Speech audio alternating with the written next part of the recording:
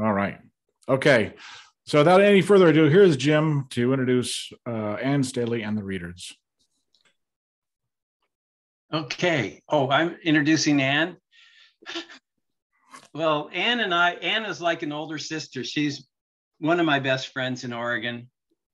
And uh, I'll talk about mo more about that. I chose poems I could relate to as her friend if I get to read.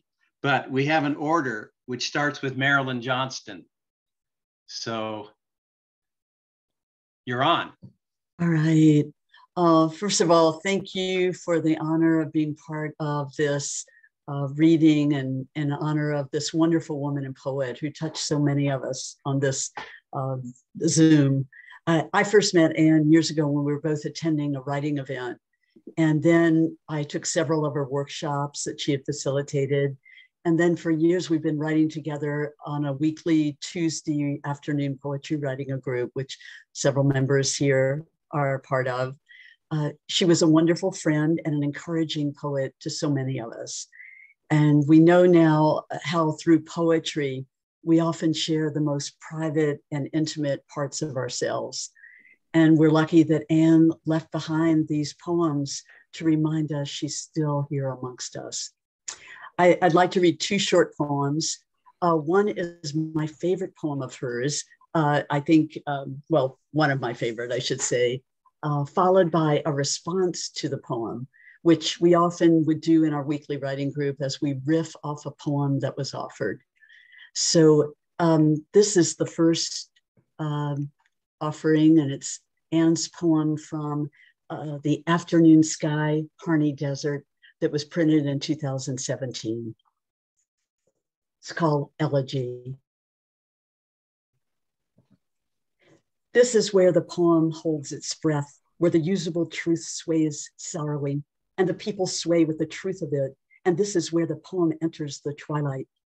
This is where the book closes and the Howard clock opens, and the clock closes and the book opens to songs so little brown birds murmur and a red fox dodges in and out of the grasses.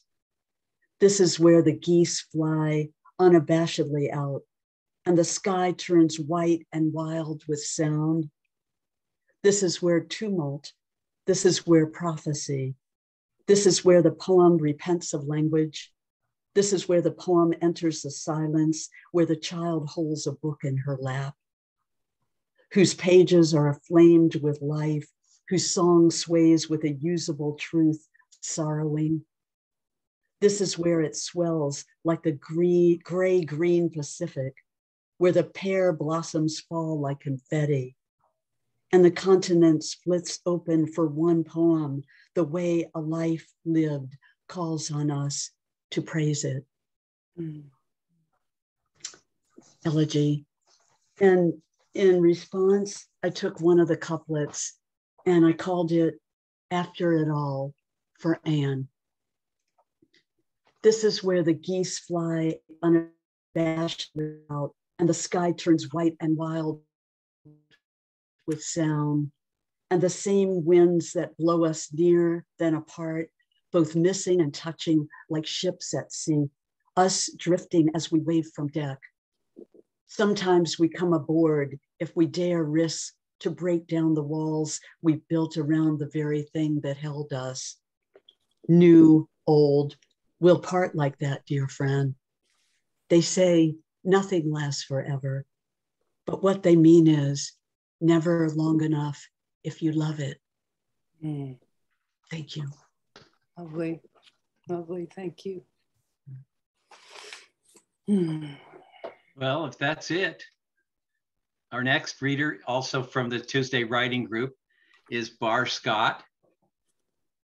And uh, looking forward to it. Okay. Um, I'm a new friend of Ann's. Uh, we moved to Corvallis about three years ago and we're, we're neighbors. Uh, so friends, I met Courtney. Courtney was my first Corvallis friend, and then I met Ann, and she invited me into the Tuesday group. So I was inclined to read something um, in in her new collection, which is Small Beauties. And I want to read moments, and then I'm going to do uh, what Marilyn did and, and uh, give you my response. Moments. Moments are our teachers. They might feel too short or too long, lasting a lifetime of grief, a sunset of joy. My sweet black and white tuxedo cat is dying from inoperable cancer. My Peace Corps friend of 50 years is now in late stage Parkinson's. My book of poems dedicated to him is at the publisher's, and I very much want him to have a copy of it before he leaves this earth. I wish I had faith in the hereafter, but I do not. And God, impossible.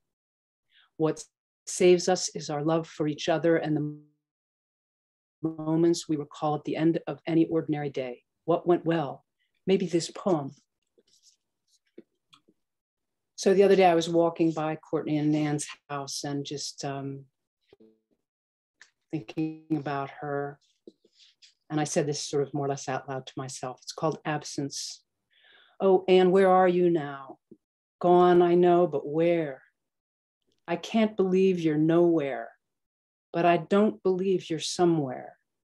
If you were here, we'd talk about it, agree that what we're left with is memory and love, that these two things are almost everything. So um, I'm going to read this because uh, Courtney and Ann gave me this book not too long ago, the Book of Awakening um, by Mark Nepo. And I just opened it up this afternoon on June 1st. Yesterday was Ann's birthday. And I read this this afternoon. I thought it was worth sharing with you. Walking north, walk long enough and we all trade places, June 1st. We are always surrounded and carried by the whole while we take turns holding and being held, falling and getting up, listening and trying to say, what matters. This reminds me of Nur. She too had cancer and was a model of strength, a feisty blessing. I remember when she died, I was so sad. Yet the light was merciless in its beauty that day, forcing me to begin to heal. It made me realize in those painfully bright hours that no matter how I turn away, the magnificent light follows background to my sadness. It works the other way too. I have known such moments of complete simplicity that all my problems and limitations seemed for the moment to vanish, but they were there, growing like mold in the dark. So I learned that no matter how I lift my heart, my shadow creeps in weight behind, background to my joy. And when I tried to outrun the fact that I had cancer, it became quite clear that no matter how fast I run, a stillness without thought is where I end. Even when repairing in the quiet of February afternoon, alone, my ribs all taped, I had to accept that no matter how long I sit, there is a river of motion I must rejoin. It seems that the way of our many lives Wherever we are led, the opposite waits. When I am down, you are up. When you are weak, I am strong. How else to explain that when I can't hold my head up, it always falls in the lap of one who has just opened? How else to understand that when I finally free myself of burden, there is always someone's heavy head landing in my arms? It's how we grow and heal again and again by holding and being held. In my own life, I have been held and dropped, have hurt and soothed others, enough to accept at last that the reasons of the heart are leaves in the wind. Stand up tall, and everything will nest in you. Yet this is not a complaint. It is, it is as it should be, must be, the way everything natural extends and grows we all lose and we all gain. Dark crowds the light, not light fills the pain. Living is a conversation with no end, a dance with no steps, a song with no words, a reason too big for any mind. No matter how we turn or are turned, the magnificent follows. Wow. Very good. Very nice. Uh, the next reader is Cindy from the same group. Um, well, I, I, want you to picture Ann for a moment. Uh, someone already said something about the white linen blouse, and uh, and that's really funny because I was going to talk about that in my introduction. Um, so uh, I just I, I met Ann 32 years ago um, at the Oregon Council of Teachers of English Fall Conference, and uh, I was there to read an essay. Um, and so here's what happened. This isn't a poem. This is just a little introduction. Uh, okay, uh, let's see. So uh, I met Ann in October of 1990 at the Oregon Council of Teachers of English conference. Uh, I had, it was eight, I was eight and a half months pregnant at the time. My son would be born on November 3rd, just a few weeks later. And I was wearing the only thing that still fit, which was a royal blue broadcloth maternity one piece jumpsuit. Okay, now juxtapose the picture of Ann standing next to this person. Okay. Um, I must have looked like Violet Beauregarde in Willy Wonka when just before she turns into the blueberry, you know, this big blue round thing. And after I read, uh, I was approached by this very elegantly dressed woman with lovely silver hair and lively eyes who told me how much she had enjoyed the reading. She was striking, she was tall and statuesque and beautiful. And she had on a lovely white linen blouse, uh, a black skirt, black flats, and several pieces of beautiful silver jewelry. She took my breath away, but of course, being eight and a half months pregnant, it, it wasn't hard to do. I couldn't breathe anyway, but uh, still. Almost exactly a year later, I found that she was coming to be an English teacher at the high school where I taught. Uh, and in fact, her classroom was adjacent to my classroom. And it was then that we started this 32 year friendship, which was more like a sisterhood. And I was in, uh, Jim was talking about how he always felt that she was an older sister. So, um, uh, and I miss her greatly. I, I wanted to start reading with uh, a piece from Afternoon Sky Harney Desert, which is the book Marilyn had mentioned. Uh, and it's about, um, it's called Life Studies. So here's Ann's poem. No one told us we had to study our lives. Many people do not and are astonished to discover that others of us do. It is a different kind of intelligence. To look from above or from afterward and then wonder what really happened that summer afternoon in 1953? Did I really say that to my father? Is this the love I prayed for and then received? I am relieved that I don't have children because these kinds of questions would have to be engaged again and again and again. I like studying my own life, answering the questions in poems, but I also learn by studying others' lives, Virginia Woolf's, or Emily's, or Billy Collins, their words revealing and instructive. Today I wrote a list poem, names of poems I did not write, but each title gave away one line versions of those poems.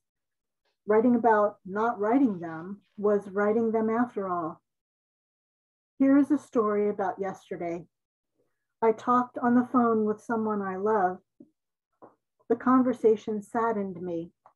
Once again, I wrote a poem about the experience, and today it is raining. So the poem that I wrote, that that poem triggered, uh, what is called No One Told Us. It's from the first line of Ann's poem. I wonder if other people study their lives the way that writers do, examining the details in search of enlightenment, joy, or regret. Many I know just do not seem that curious. They act and move on, never taking stock of motive, impulse, will, inclination. After all, what's done is done, and there's no sense in belaboring the point. Is there? The past is past, unless or until it isn't. Why should life be a constant inner dialogue, a series of questions, some with answers not worth the energy or the pain it took to ask. Where is the value in second guessing how we reacted, what we said to whom, the colors we chose? How does it help to think about thinking, to retrace the way we arrived at that place, made that decision, came to that conclusion? We who write observe, note, pay attention, ask, what did I learn from living that experience, reading that book, talking to that person? What others view as vocation, writers call instinct. No one told us we had to study our lives. We just know. Um, and I have I have two poems, um, short ones, based on um, interactions with Ann. Uh, and the first one um, I wrote back in September. Um, my son got married the last weekend of September, and Ann was at the point in her illness that it was really hard for her to travel. So she was unable to attend the wedding. Um, but I just, uh, I, I visited her, and this poem came from it, and it's called Passing. I turn up the front walkway of my dear friend's house between the two tall rows of blueberry bushes, cheerful card and loaf of fresh bakery bread in hand. Sunlight warms my back as I stand at the door and ring the bell.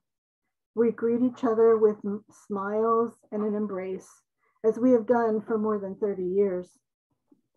Between us, there is ease, as always, Conversation and laughter flow like healing water, like fine wine. The cat purrs, the tea gives off its fragrant steam. Yet this time, I sense the presence of an undercurrent. I recognize this as fear.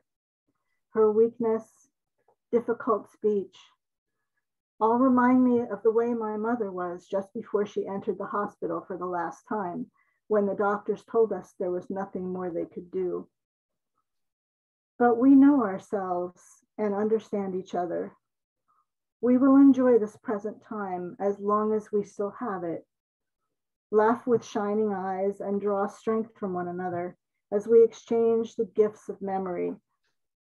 When the hour is gone and she begins to tire, I take my leave with a kiss, open the front door to radiant sunshine, the neighbor's sunflowers, and the bright blue wing of a jay passing. Um, this, this next one is um, Ann had said, grief is just one more version of love. And I think that's a quote from one of her poems as well. So this is a poem I wrote in response to that poem. There's a lot to be said for grief, for the kind of sorrow that comes in waves and makes it hard to breathe, and for the dull ache, which gives us time to become so used to it that we don't notice it so much anymore. Loss makes of us one family. Some wail and keen, some act out in anger, raging against death or change. Others sit silent, listening for the lessons that will come. Eventually, we all rise, resume the journey, limping down the crooked path toward revelation, refined by what grief has taught us about love. Great. Thank you. Okay. Um, next on the menu is a, a, a couple of people Liz Schillinger, and Liz Schillinger and Jessica Mackey from another one of Ann's groups. And uh, you guys can decide who's first and or if you're together and go for it. you off? got this. Okay. You were you're off mute. Okay. Hi everybody. Uh, glad to be here and uh, uh, glad to have a chance of um, sharing some of Ann's poetry. I've been, um, gosh, for almost a year reading, reading, reading all these books.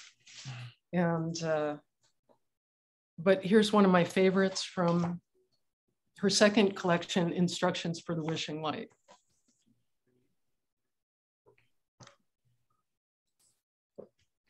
I'm a little nervous. okay. Here we go. Rhymes with damn it. What the river says, this is what I say, William Stafford. The Willamette dares the stranger to say her name. One needs the dictionary syllables, will, am, it. But even they are confusing. The river says, I have a direction. And although I am racing now after a January deluge, I might meander in late August. I have streamside beds and the riverbed of the hundred year flood, a heron's nest at the bridge, the inevitable otters. You are welcome here with your little dramas and sorrows.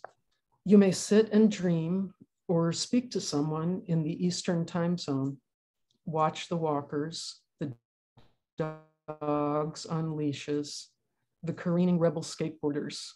There is life here, an eternal flow, one way toward the infinite. It's such a good one. Such a good choice. Uh, let's see. Oh, that's the last one. Okay, um, this from uh, Small Beauties. Awakening on the spring equinox. The flowers are present, bright yellow daffodils in hardy groups, purple crocus in the front yard.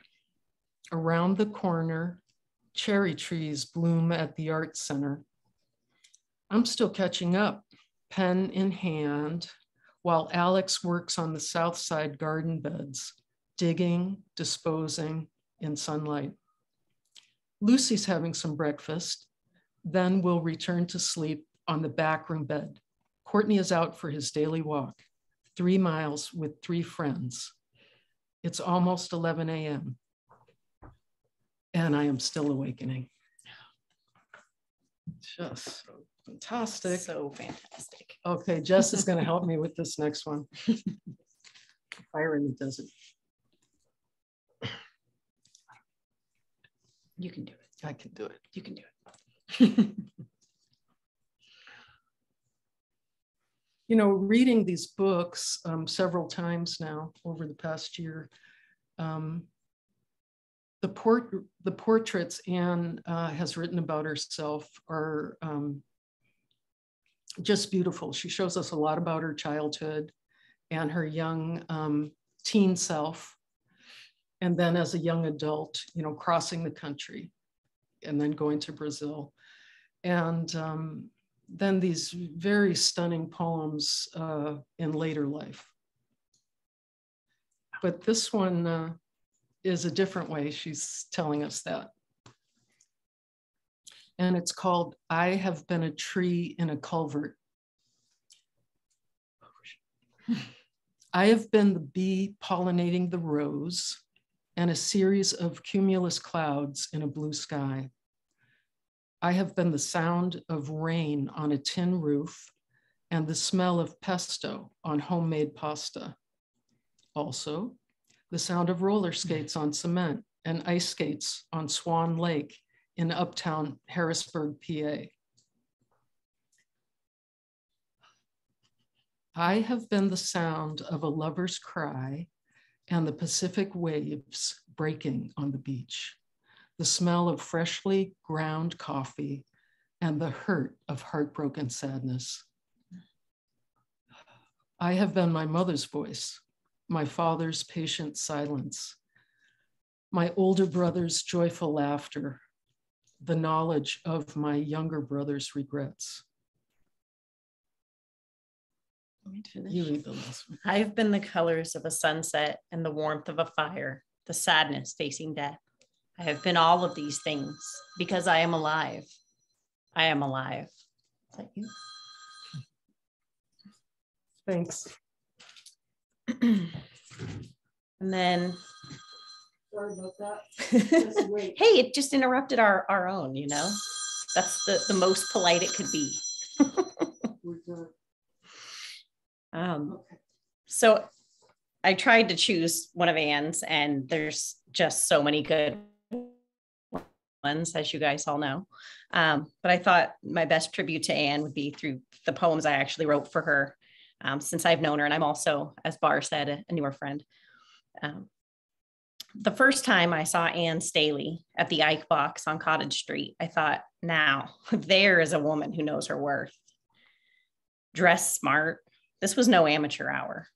She was seated next to me. I tried not to stare. She was on the list after me. And after she read, I forgot what I had done completely. The breadth and width of her written word stopped, stunned. This was a poet.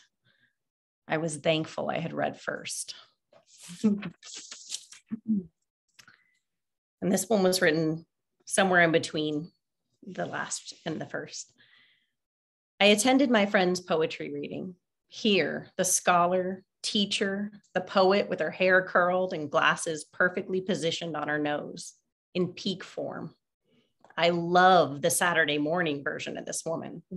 Bangs slightly askance, robe slipping off a shoulder, and tired, vibrant eyes, searching for spectacles. Here, too, the poet. A Saturday morning, sleepy, deep sort of introspecting musing. Blunt, but kind. She crafts words, chooses them slowly, deliberately, like tasting the first berries of spring. Saturday morning, we are just ourselves, still delightful, still charming, a bit more rumpled and real. And then this last one, um, I wrote uh, the day after I last saw her, which uh, was the day before she passed. Um, but it's actually about just the beautiful camaraderie, sisterhood, friendship, and just love that surrounded Ann at all times. Friendship is a poem, sitting quietly at your bedside, silent vigil to your rest, reading acknowledgments and accolades you've placed on the shelf, noting you sip only juice now. Anything that matters is here. Just as you will still be here, even after you've gone to explore the rogue rivers of what's next. In our words, our thoughts, our quiet contemplation, there you are, echoing and eternal, as are we all. Thanks.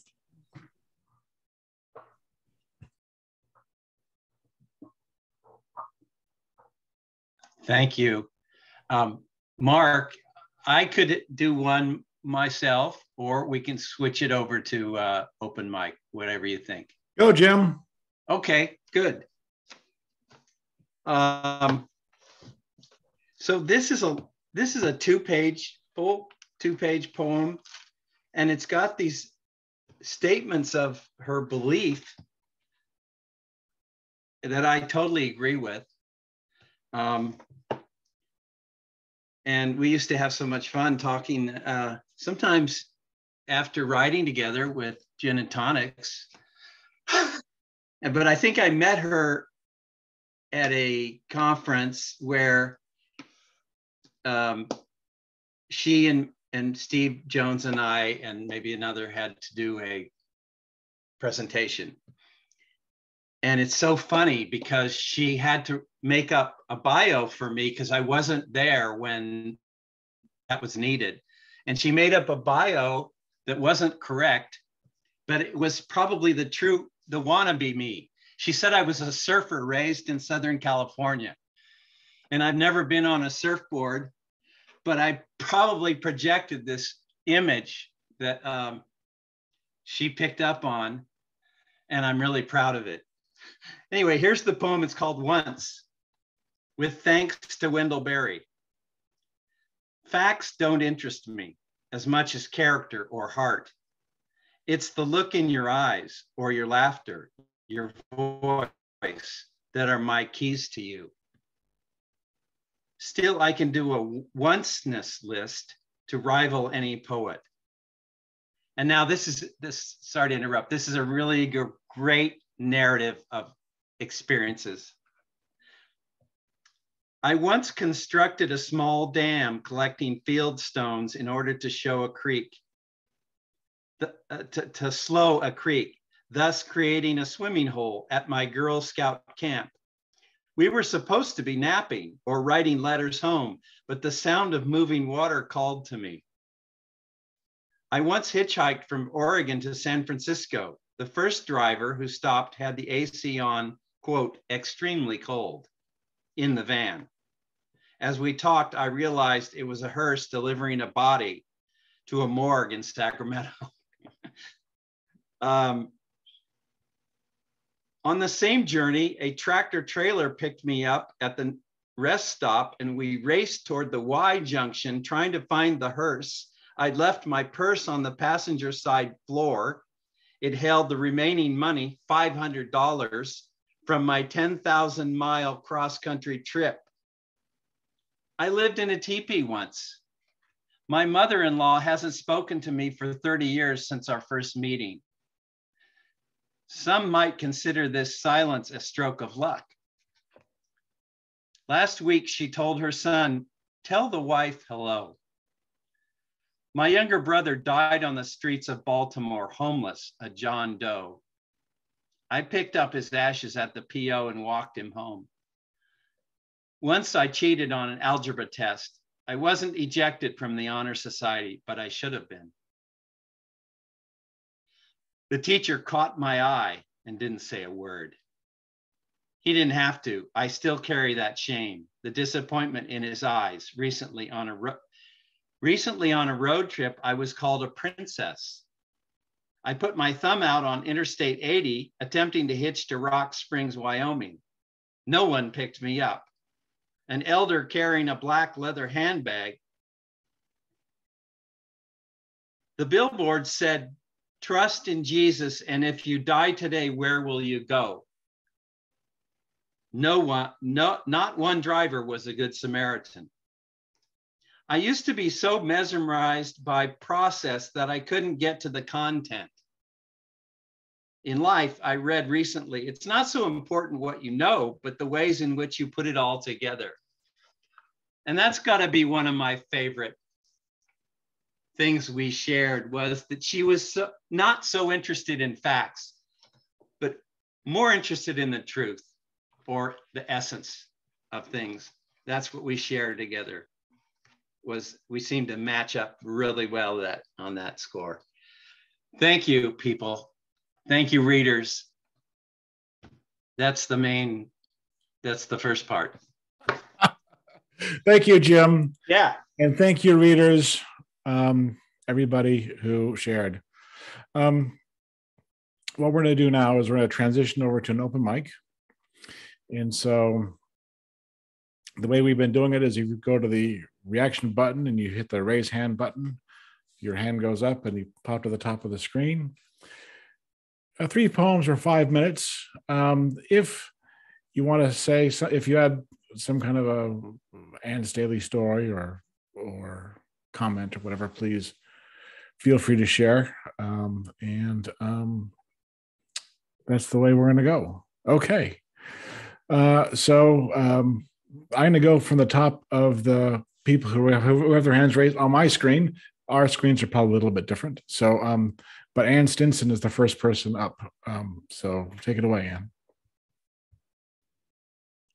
All right. So I met Ann Staley in 2014 at Menucha, which is um, a place where the Portland Creative Arts Community holds their um, summer uh, workshops.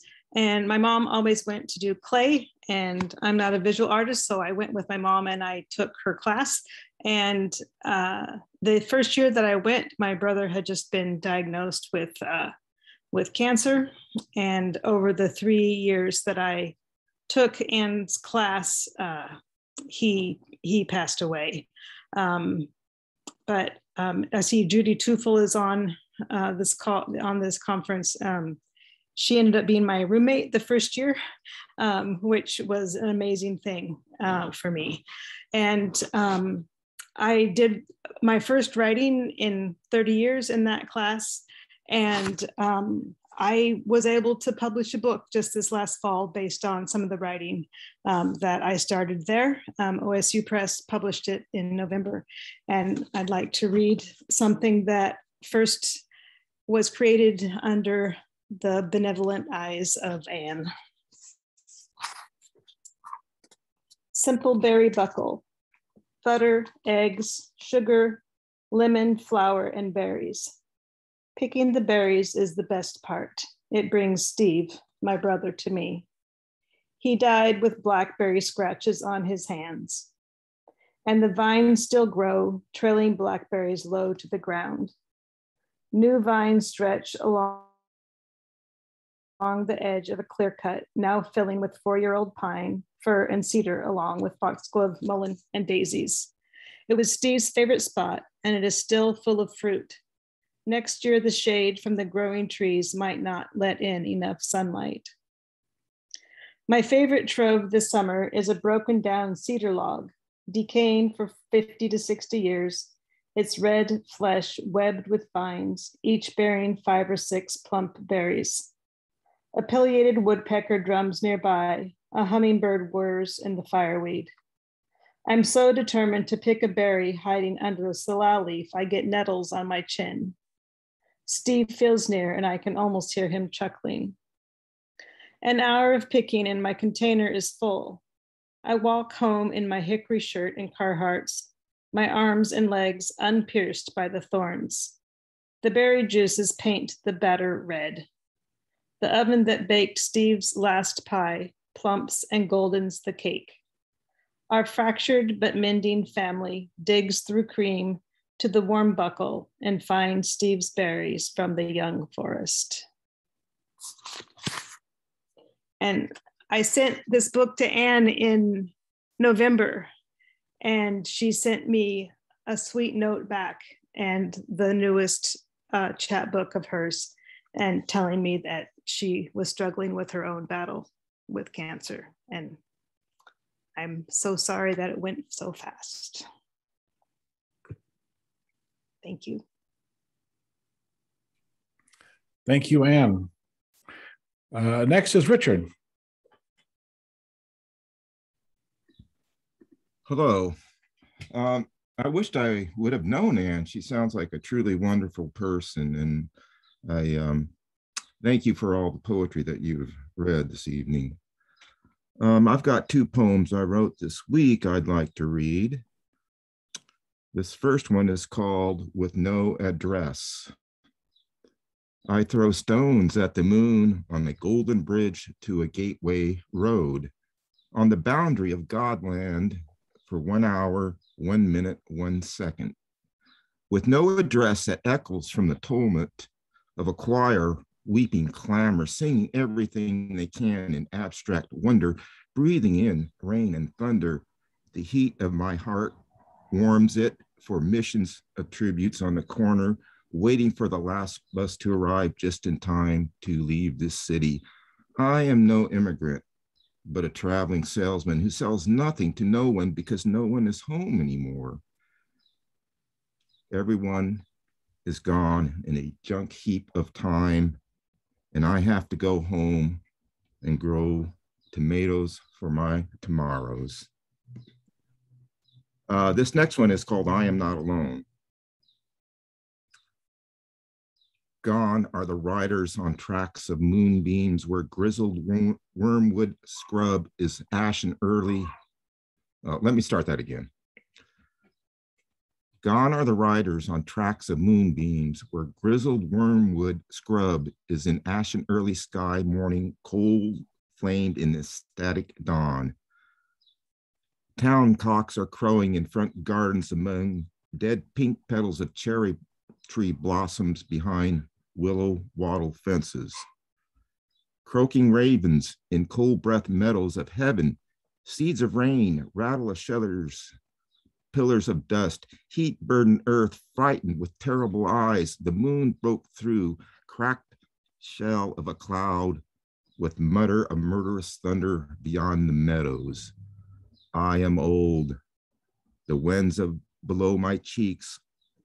In my hat I hold the guff, the birdhouse, treasury of souls. Sparrows know who I am. I quiver with the cosmos of dawn, and Laela, the angel, watches over me as the first sparrow that I release from my hands flies off to the promised land, to the tree of souls to nest.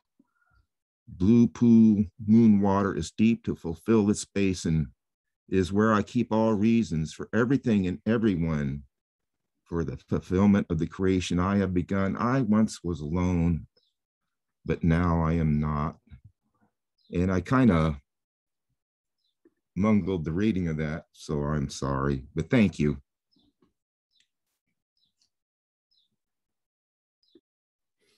Thank you, Richard. Um, Sue is next. Hi.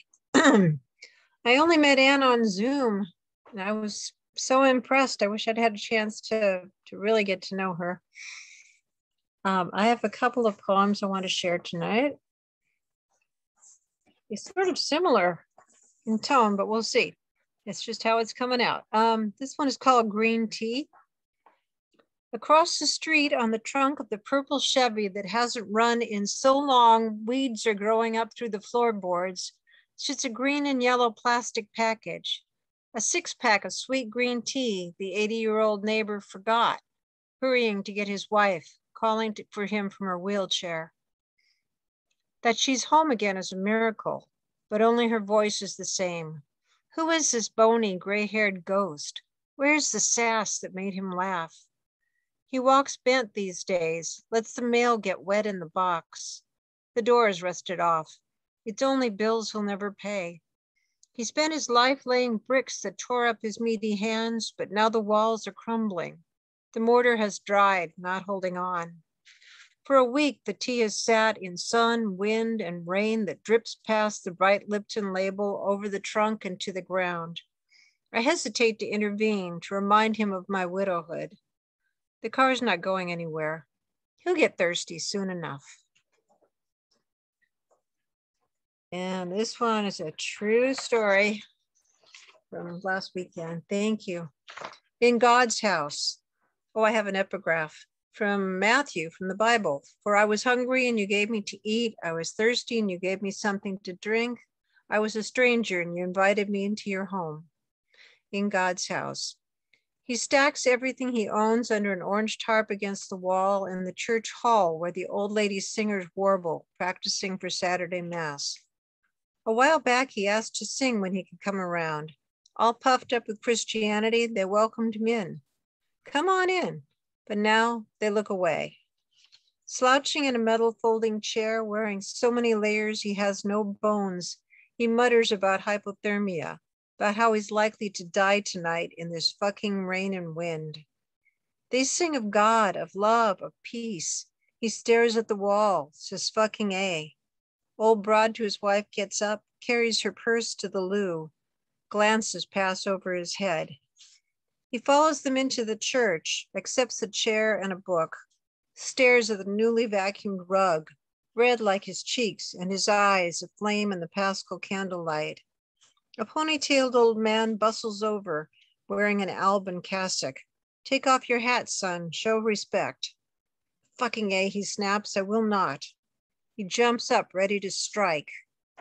All of this caught in the microphones. Hand on his shoulder, an old singer says, Calm down. We're in God's house. You have three choices listen, pray, or sing. I guess I'll sing, he mutters, backing down. And the woman prays, a little afraid. He's inches away, reeking of sweat. She's caught between charity and shame. In God alone my hope, they sing, her cracked high voice, his lower one. After Mass, a man comes up, offers him a $10 bill. Get yourself something to eat before you catch the bus. He nods and walks into the rain.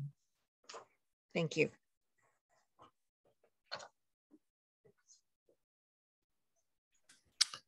Thank you, Sue.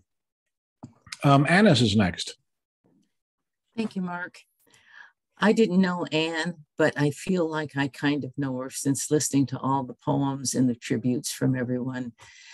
And um, it really has motivated me to look her up and see what I can find out more about her. Thank you for everyone for that. Um, last summer, I took a sonnets class. So this is one of my early attempts at sonnets. It's called Morning Meditation.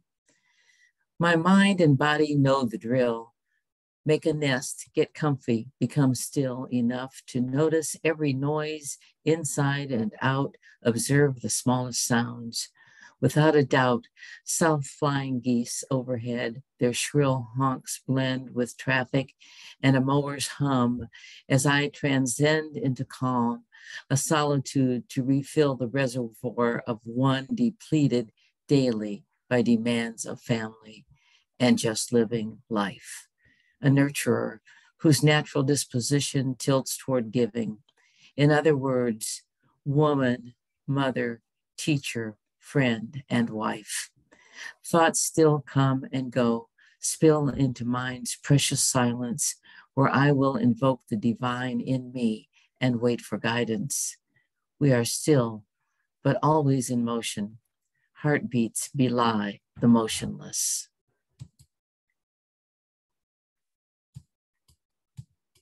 Thank you. And the second one is one I wrote this week. Um, called 1952. It's summer, and the three of us lying nine year olds are pleading for a dime for ice cream, but plotting and scheming to buy cigarettes and a package of Sen Sens, imagining ourselves cool and hip like our parents.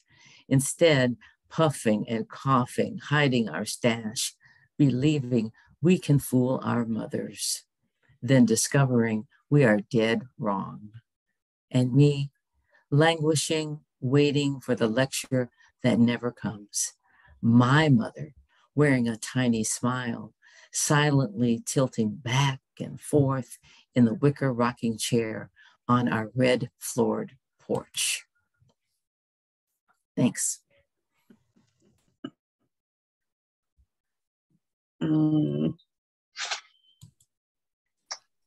Thank you, Annis. Uh, Billy is next. Thank you. Sen Sens. I had forgotten about those. that was great. uh, okay, these are just a couple of recent ones. Um, I guess that's all I'll say about it. Hot chocolate. Hot chocolate. Gave me a packet of hot chocolate. Almost a month ago or a year ago or a long time ago. I made hot chocolate today. I put my milk in a pretty cup. I warmed it in the microwave for one minute. Added the chocolate, stirred, and returned it to the microwave for another. I opened the microwave to a brown, watery mess with dark blobs of chocolate swimming and sticking to the side of the pretty cup. The dark blobs tasted delicious as I licked them off my finger. Never mind.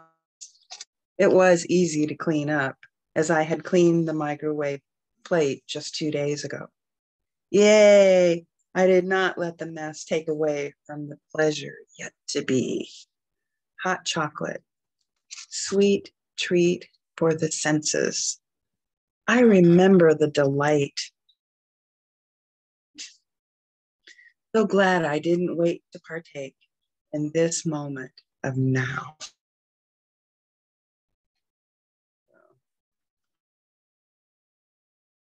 That was sometimes I save things for later, and I did not save that job. It was great. Um, and this was uh, just a prompt off of something else I was doing. So I called it the beach. The beach. No, wait, the ocean. The beach is a beautiful place to play, to get lost in the rocks and shells and sand and sounds. the beach. She calls me to notice and become part of the greater one, the ocean. The ocean draws me in, putting me in my place. I hear her roar.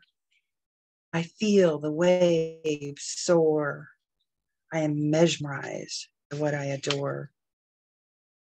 Watching the vastness of the ocean, I know and become the speck of sand that I am. I am one speck of this great universe. So are you. And you. The world would not be what it is today without you and me.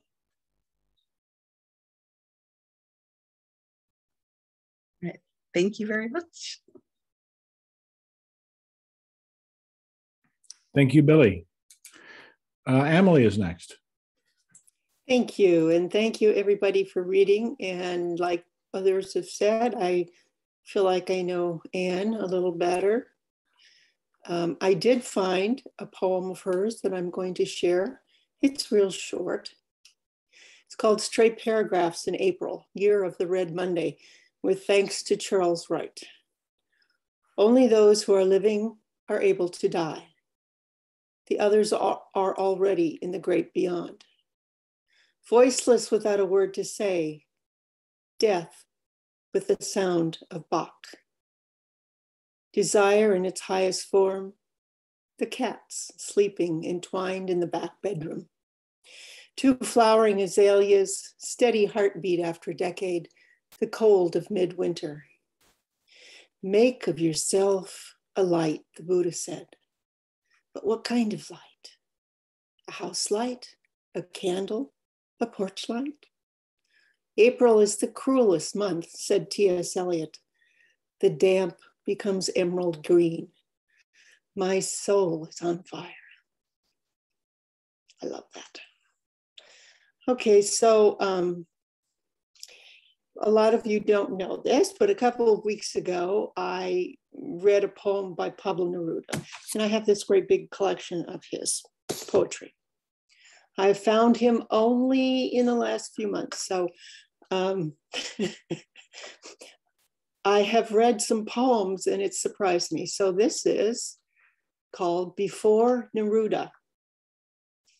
Before I even heard of you, Neruda, I must have known you because your heart is known to mine. I know that now because I found your phrases in my own poems before I ever knew you existed. How odd it is to read someone else's words conspiring to appear on my page or from my mouth, as my sister's voice never fails to do after a visit, after being separated for years. And there it is, her voice emanating out of my mouth as your words, Neruda, emerge out of my mind, then translated into a poem I wrote before I ever heard of you or knew that you were a poet.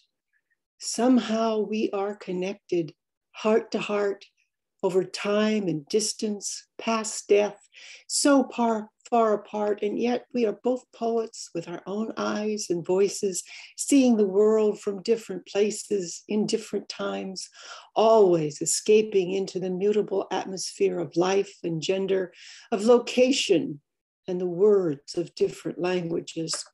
However, we were brought together, however, inspiration can cross over from beyond you are my muse, Pablo. May I call you that? May I be familiar without seeming to flirt? There it is, Pablo, my honest confession, sincerely given with modesty for all to see about our bond before I ever knew you existed. And then I have one more. the cat's helping me. this one's called Ode to Attenuation. I'm just a hack, tinkerer of overused words, of stale phrases and moldy metaphors. But if I know this, does that mean I can change? Can I improve? At this late date, it's not likely. I have little time to make mine a life of golden promise, a precursor to renown. In these days, there is more to be had by writing laments, not praise, elegies instead of love poems, requiems and threnodies instead of groveling laudatory odes. But what about tomorrow? Will there be time to pay tribute to blue skies, open seas of pristine water, of beaches empty for turtles to bury eggs, or old stones to exude gems and brilliance into the atmosphere? Try as I might, I find no tomorrow, none that I will see, just sad remains of now, the time of regret and fallow dreams, of drear and dying children, of old men drooling in churches without beds, of lying, arrogant men and women bleeding in back alleys. I see with blind eyes and hear silence with deaf ears. The rich will live merely days longer than I, wealthy people with stolen water. But the words, where are the words to touch and cleanse, to uplift and evolve like dried rose petals, come back to life, renewing vows of fragrance and rosiness, to become full and vivid, giving grace, needing but a small measure of sunshine. Thank you.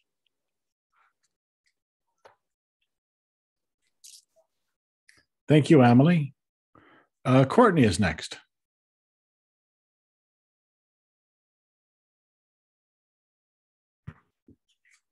I'm going to read one from Ann's uh, first. Well, let's see. I guess you can't can't get that to focus. Anyway, uh, this is from Ann's uh, first collection, published collection, Primary Sources, uh, published in 2011.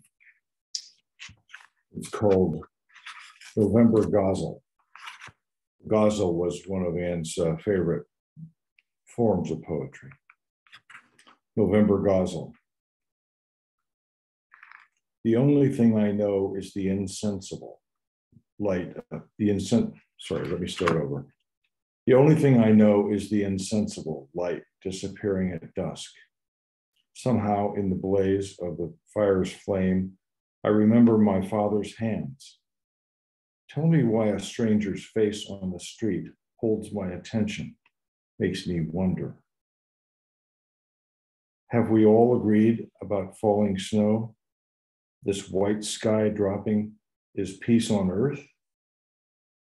No one alive now remembers my arrival, daughter born with eyes open to summer. It's all right if the melancholy oboe sings all night. It's all right if geese rest in the gray rows of field stubble. Some masters say we are all wounded here, and your wounds are messages from paradise.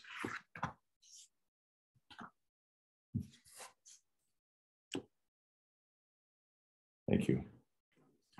Thank you, Courtney. Uh, Sydney is next. I don't really have a poem to share. I just, um, so I teach, um, I'm an English professor at Tillamook Bay Community College, and I'm teaching Introduction to Poetry this term. And, you know, it's usually to students that um, have little to no experience with poetry. And we were talking about Emily Dickinson this last week, and of course, Walt. And um, we, um, one of my favorite books is this lovely coffee table book called The Gorgeous Nothings. And if you haven't heard of it, it is um, fragments of El- Emily Dickinson's poetry that she wrote on the back of envelopes, little scraps of paper. Um, oh, it's it's it's a beautiful book, and I brought it into class, and we all looked at it.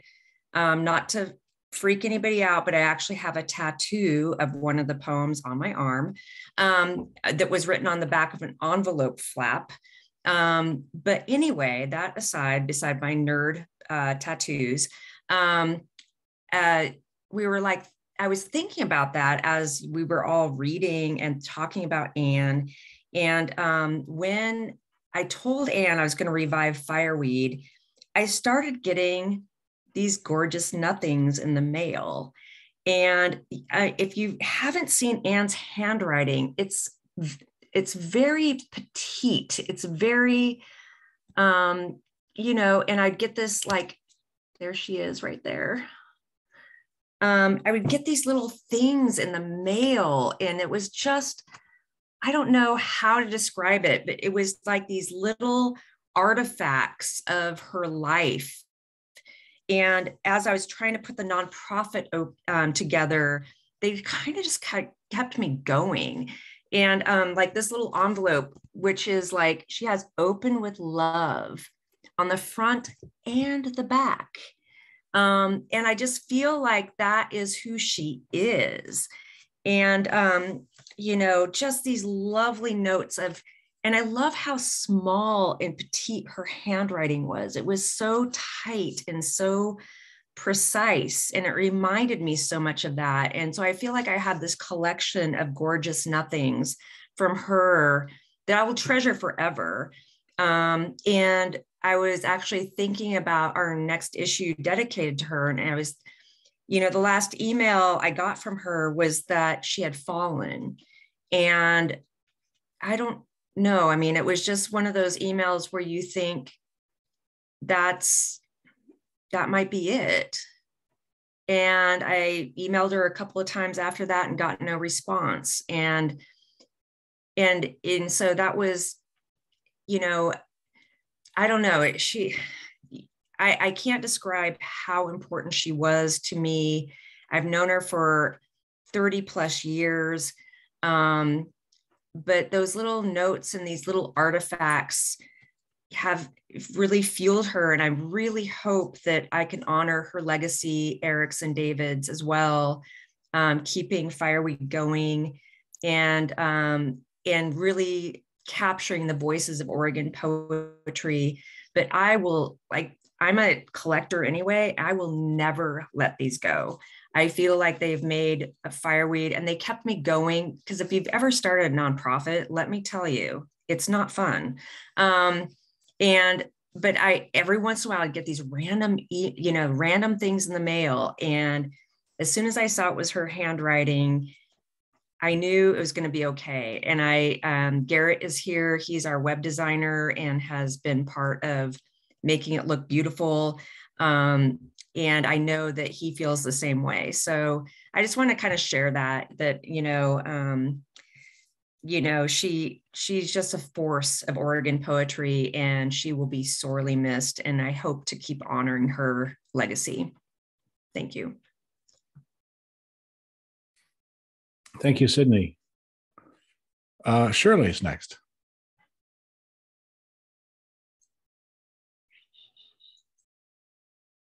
Okay. um, I'd like to read a poem by Stephen Keating that he wrote in 2016. And it's an interesting poem. It has to do with life and it also has to do with dying. and I've just thought it was a beautiful poem to share. I have come to these fields early, too early perhaps, when the air is still and heavy and droplets of water gleam in the slanting light. There is no one here, only my little plane that rests in the silence I check the oil and fuel and filters and follow, ever follow, the purest discipline of my pre flight check. And then finally, with everything now remembered, I bend to loose my tie downs that I may be transformed. I feel the small vibrations as the wind begins to flow across my wings. My quiet little engine has begun to raise its voice. The propeller is chewing up the center line stripes on the runway, and the tail is rising. And all together we race across what is left of this little earth. It gets lighter and lighter and louder and louder, and with one last jump, we are free. We know the physics of flight, but it is always a wonder. The air must flow faster in some places than in others. Everything must be balanced. You must have a sense of direction and good planning. Every component must be strong. Things cannot get too old. We are lifted up on wings of cloth and wood and allies so light they weigh almost nothing. We are risen into clouds and with the tips of wings. I have tried to carve my name into every single one. We climb until we can go no higher, and falling over backwards, we spin down, pressed against the harness, watching as the earth whirls around us. We turn into our spin and aim for the ground and pull up at the treetops. And with all the speed we have left, we fly low and level and fast. So fast there are chickens in this country that will never lay another egg. We have this machine and I set off across great distances with no more than a compass and a road map and the ready assurance that we can land almost anywhere if we have to. But on this day, our compass only spins on the panel. There is no map for where we are going. We may not have enough fuel. There may yet be one more off field landing to do. Maybe a long gliding, drifting down when all the fuel is gone. I will feather off the swirling propeller and level my wings and set myself into whatever earth I find in one final amazing untidy landing, plowing up some Elysian fields and maybe leaving a long deep furrow right up to the feet of those whom I have loved and who have loved and still love me. It is always a wonder. Thank you. I just thought it was, Stephen wrote the most wonderful poem and I wanted to share it. Thank you, Shirley. Thank you. Um, anybody else want to read something before I before I move on? Yeah, okay, Norma.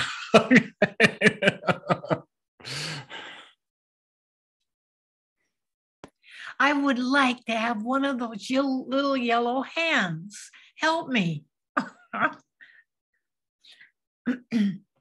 I've been I, I tripped over myself writing poems in the 80s. And it's so funny because I'll read them and it, I do not recognize myself. It's very strange. but these I recognize, or this one I recognize.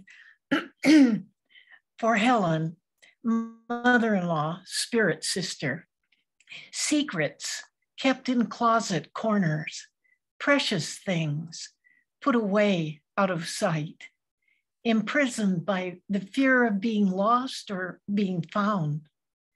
Radar eyes, Aquarian genius, selects the exquisite from among the common, finds the gem in the mountain of stones, wants it, takes it, has it. She's gone, secrets freed, conquests revealed to the next of kin. Loving beauty was her sin. Taking it was her shame. Keeping it was her delusion. That's, that's it.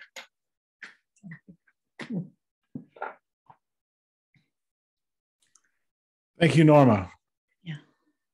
So, um, I've got three poems here. Um, first, uh, just a short word about Ann and the Salem Poetry Project. Ann um, was our featured reader, our third featured reader after we moved out of Frozation Nation and into the Ike Box in uh, July 7th of 2017, sorry, 2016 in our first year. And then she came back and was a featured reader for us again on September 7, 2017, and then again on December 6, 2018, and then again on February 7th, 2019, and then again on April 4th, 2021. Um, and like Sydney, I would occasionally get little notes from from Ann, and I was always appreciative with that excellent handwriting. that I can't, that is completely escapes me. And a, and an occasional broadside, which was very nice, um, because we would find each other at events. Yeah, like like Cindy showing uh, a wonderfully composed broadside printed on nice paper, and I would think to myself, I should do that, and then I never do it. so, um, but a very generous and warm spirit, and somebody that I'm going to miss having as a featured reader every year. so, um, and she was a terrific poet, a terrific reader, and and just loved to have her just to kind of be around. We uh, met up at different events all the time, just like Marilyn and a whole bunch of other people. Jim, Sword and Poetry Festival, uh, the Mid Valley Festival that happened at the library, and all kinds of other events that happened around. It was just wonderful to see every time that she was there. Uh, so here's one of her poems uh, that I found uh, which I really enjoy, called Looking Upriver August. There's a dove somewhere cooing, a flag at half mast. A young man tends a burned pile, leaves from last night's once in 21 years storm. Lightning, hail too, says Ray, the neighbor with three earrings. Last night, too, in utter darkness. A raccoon tussled with a river otter who slipped away downstream just as three more coons appeared and swam in front of the deck. A territorial issue, a smallish war. But that was last night. This evening, sun setting out beyond the sisters, those girls still holding snow patches on their northern flanks with candlelight, wine, blankets. We watch the day blind stars come on. The Dipper, North Star, a bright and visible planet. Near this moving water, I am an innocent. So that's a poem by Ann. Lovely. Um, here's an old one for me. It's called, uh, I was taking a look at it earlier on. It's called Expressions of Boris Karloff. And this starts with a little snippet of dialogue from Bride of Frankenstein.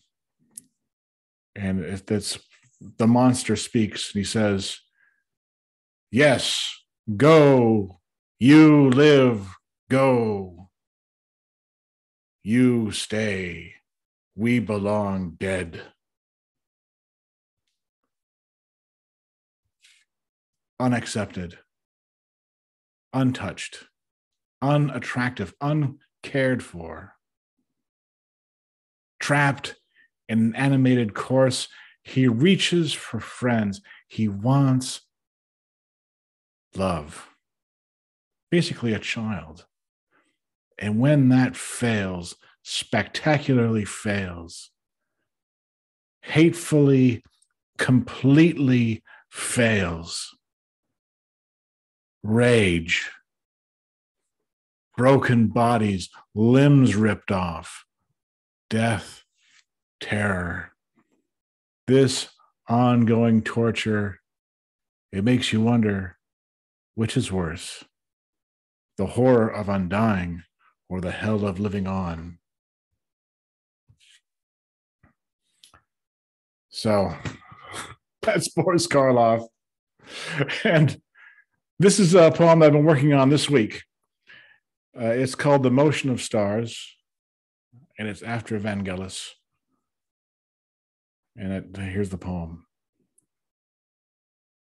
Polaris is the axis, Stella Polaris, that sure and steady fixture in the darkness. Ptolemy, Pytheas, Massalia, Christopher Columbus, Julius Caesar. Look to that strong and constant northern star, rely on it. Lost and found through it, the center of the whirling wheel wending steadily east to west from night to day? Or was that us, tilting on a pole's pivot point, wriggling back and forth so gently, so violently. Congruent Polaris, the triplet star, viewed from 433 light years away, one giant, two more a little smaller than the sun, waltzing each other in their own wild wheel and spinning across the sky, across the cosmos, like we are. Around this unregarded cousin, a fleck on the muscular arm of the Milky Way. It's only a matter of time, you know. A few thousand years, a blink,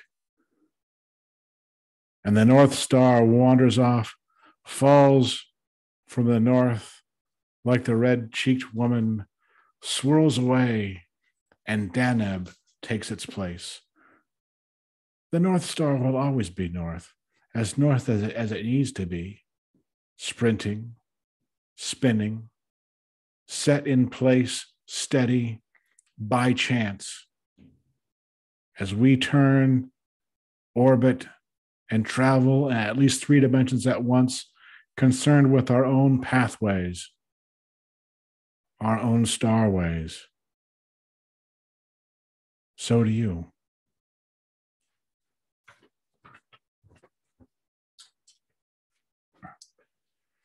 Okay, so thank you all very much. Thank you to all the readers.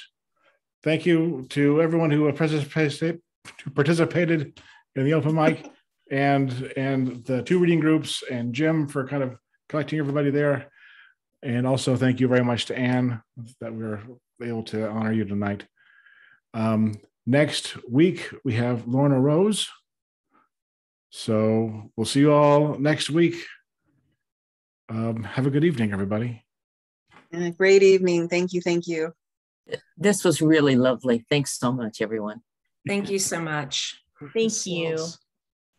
And thank you, everyone. Thank you, everybody. Thank you. Thanks, Great Courtney. seeing you all. Thanks, Mark.